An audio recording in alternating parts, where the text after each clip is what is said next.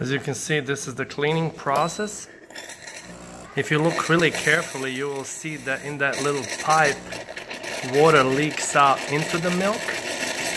Water drips into the milk, and when I let it go, the milk is going to shoot up and come out to the side, which basically defeats the purpose of cleaning it.